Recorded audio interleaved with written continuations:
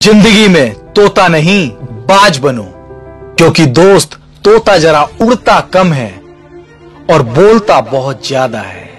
जबकि बाज शांत रहता है, लेकिन आसमान को छूने की ताकत रखता है। सफलता एक दिन में नहीं मिलेगी, लेकिन दोस्त सफलता एक दिन ज़रूर मिलेगी। याद रखना, जो पानी से नहाएगा वो बस लिबास बदल सकता है।